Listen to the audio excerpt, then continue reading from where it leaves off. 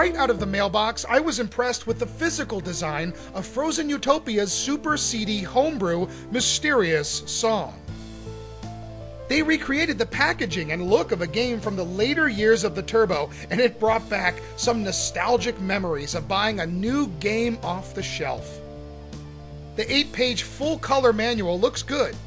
The disc is factory pressed and sharp, and the game well, it fits in perfectly with the existing Turbo lineup. Mysterious Song was originally an independent turn based role playing game from 1999, created by Darkness Ethereal. It was a short affair, but it gained a cult following among PC gamers. Well, Frozen Utopia has taken this game, upgraded it, and added some goodies, all with the love of TurboGrafx fans in mind. We begin with a cutscene, one of the handful exclusively created for this version. Here we are introduced to our hero, Spear, and the voice of Grim, a stranger who plays a key role in the game. The hand drawn animations are pretty good, and the voice acting, well, it varies. Just when I think I have you figured out, you change. But if these are in the spirit of early CD games, then the sometimes cheesiness is quite effective. Get out of my head! Hmm. Ah, I wouldn't feel like a Turbo CD game without them. Next, we visit Torin Castle, where King Algameth IX reveals the awful truth about the peaceful kingdom of Torin.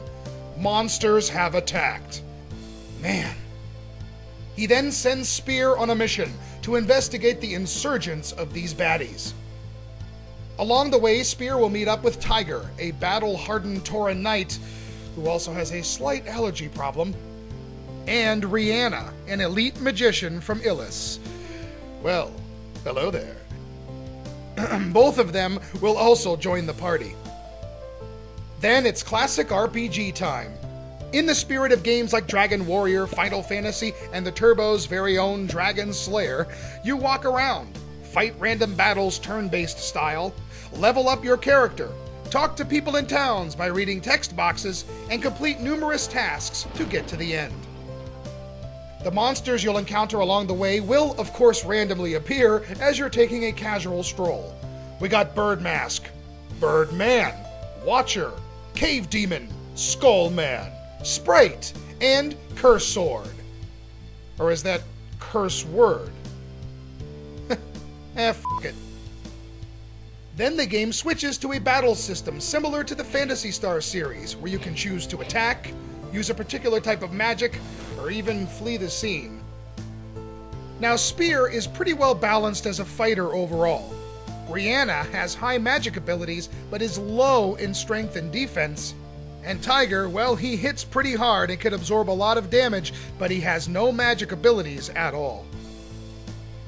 If an enemy is defeated, the game will automatically target the next foe in line, which is nice. As you grind your way up in levels, rapidly tapping button 2 will swiftly take care of your foes, and it feels quite satisfying. Mysterious Song isn't too difficult in terms of puzzle solving, but it does require a few tasks to be performed. For example, you can't get to the next part of this area until you talk to a carpenter about rebuilding a bridge. But see, he can't do that until you find his stolen tools. But you can't fight the guy who stole the tools until you talk to this carpenter initially who tells you about needing the tools. What? At the shops, you can buy armor and weapons, and the text does a pretty good job revealing how they will affect each character. You can also buy items that help replenish health points, cure poison, revive a dead character, etc. These items can be also found in chests throughout the game. Let's not forget fire, ice, thunder, a few types of magic that can be had and experimented with. Also, the inn will replenish your energy for a fee and allow you to save the game, which I recommend you do very often. Most of the graphics in Mysterious Song, while simple, have been completely overhauled from the original game, often redrawn from the ground up. The colors look great, and overall, everything is quite pleasing with beautiful original backdrops. Now, enemy sprites could have used a tad more detail, and the static characters you come across are a bit, well, static. but I'm sure memory limitations restricted what could and couldn't be done, and overall, the game looks really good. When you first pop the disc in, you are treated to some beautiful piano work, and for the most part, the music retains that level of quality. The battles themselves rock out and create a really tense atmosphere. The game is somewhat lacking in sound effects, but some are added into the music, like the water drops in the underground passages.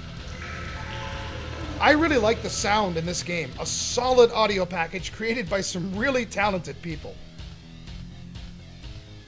The directional pad moves Spear all around and navigates the menus. Holding down button 2 will allow Spear to run, which is fantastic. Button 1 is used mostly to make selections or advance the text.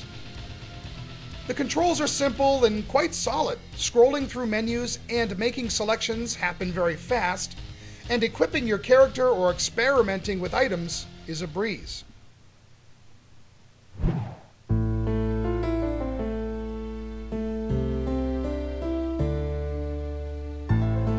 At the startup screen, you can choose between Original Mode, which retains the difficulty of the PC version, or Balanced, which is balanced differently and should require a bit less grinding. Defeating the game on Original and acquiring Ogian, who is to me necessary to snag for that final boss anyway, will unlock the EX game in a brand new area. This exclusive Super CD part of the game adds a complex challenge, and making your own map is required, if you can keep your sanity long enough.